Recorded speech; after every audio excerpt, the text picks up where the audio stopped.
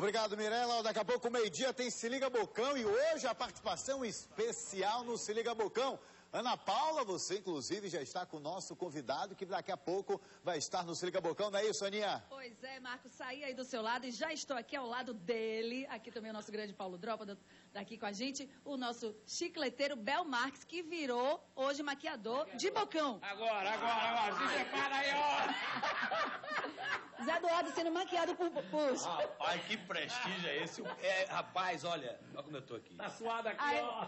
não, isso aqui é inédito, Zé. Bel Marques agora deixou de ser cantor para ser maquiador. Não, isso mudou esse ano, porque esse cara é fantástico. A gente tava conversando sobre a vida de, de Bel agora com os dois filhos dele ganhando estrada.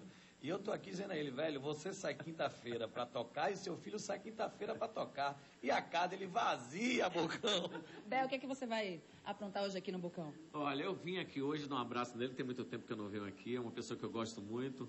E vamos falar um monte de coisas boas, divertidas, porque temos muita coisa para dizer. Só a última, agora que eu fiquei sabendo, inclusive, eu quero saber mesmo. Carnaval vai acabar sem Bel? Bel vai pra Sergipe? Que história é essa? Com relação aos camarotes, que história é essa? Vai contar isso no Bocão, Bel?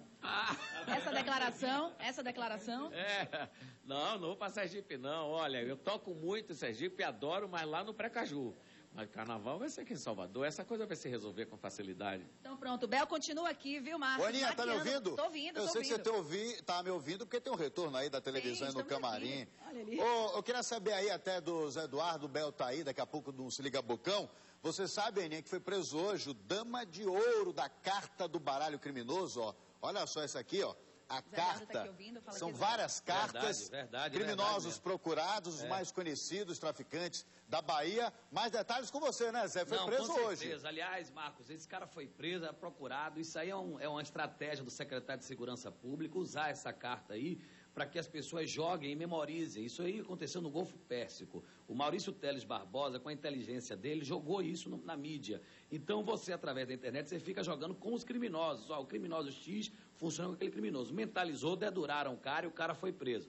Tá preso, mais um aí, parabéns. E a gente tá aqui, Nasce- né? Eu vou aproveitar que Bel tá aqui e acompanhando todo esse noticiário.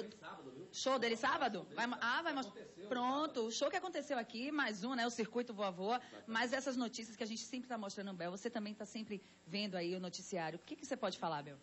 Olha, eu acho que é muito boa essa ação que estamos fazendo agora, nesse momento. Precisamos fazer muito mais, porque nós estamos numa situação muito difícil de segurança, mas eu acho que tudo que está está sendo preparado para alcançar o melhor ponto na Bahia para a segurança está sendo feito. Eu acho que é importante todos terem consciência disso, mas é, precisamos lutar bastante e muito rápido.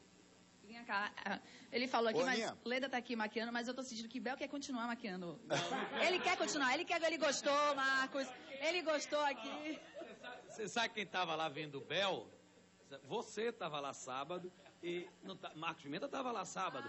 Então vou mostrar tudo que aconteceu nos bastidores dessa grande festa sábado com o Bel ao vivo. Você flagrou Marcos Pimenta? Você Ô, tava Aninha, lá, deixa ele conversar.